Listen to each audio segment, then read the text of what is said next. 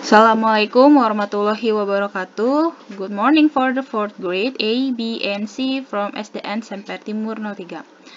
Going back with me, Mrs. Me. In this video, we are going to study about lesson 2, pembelajaran kedua in our second semester, semester kedua.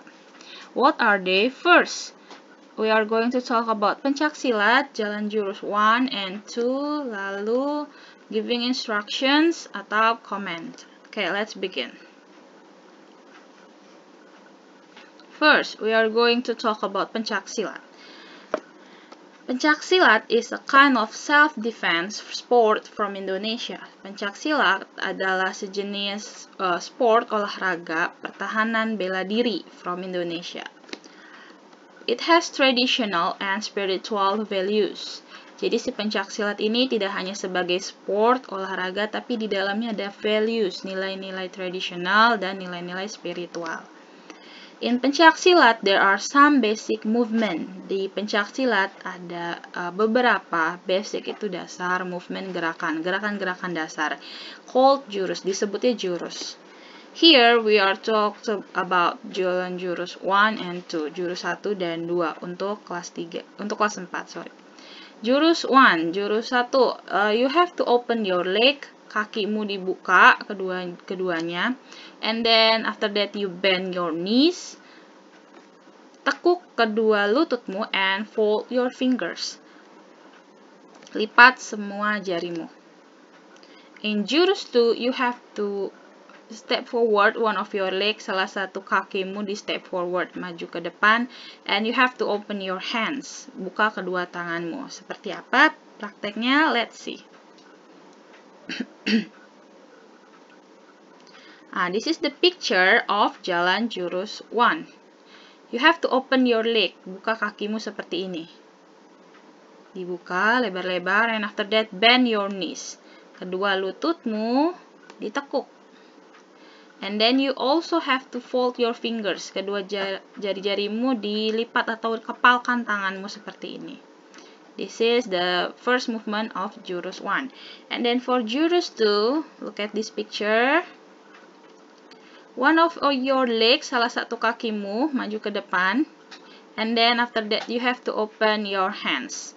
Jadi setelah kaki dua-duanya dibuka di jurus ke satu, lalu uh, jari-jarimu di fold, dilipat atau dikepal. Di jurus kedua, salah satunya maju ke depan, and then you have to open your legs. Jadi tanganmu dibuka.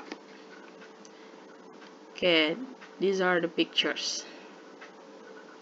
Nah, this is bend your knee. Tekuk kedua lututmu. Bend your arm. Tekuk juga lenganmu. Seperti ini. Jadi posisinya mengepal. And then fold your fingers. Fold itu lipat, fingers itu jari lipat jari-jarimu atau kepalkan tanganmu. Next, open your hands. Buka kedua tanganmu. Step your right foot. Langkahkan kaki kananmu ke depan.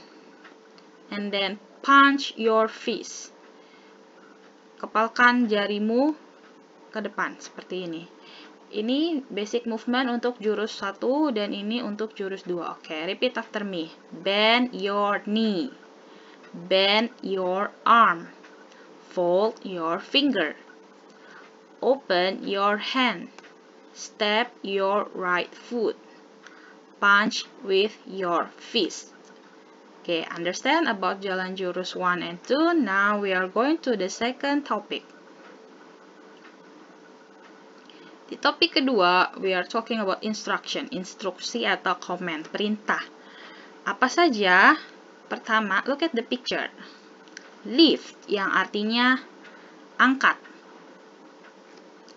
And then, clean, yang artinya membersihkan. Contohnya, clean the window. Lift the box. then, the hold, pegang atau jinjing hold your bag, jinjing tasmu. And then this one, don't be noisy, jangan berisik. Next ada close, tutup. Misalnya close the door, tutup pintu. And lawannya adalah open, buka, open the window. buka jendela. And then ada wash, cuci, misal wash your hands, cuci tanganmu. And then the last, larangan merokok, don't smoke.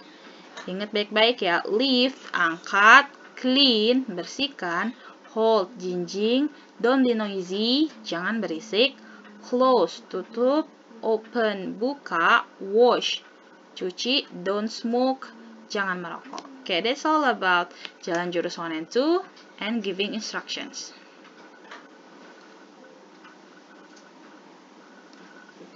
Okay, that's all about our today's learning. I hope you understand. Semoga kalian paham. Kalau ada yang belum dipahami, you can ask me by WhatsApp or in a group.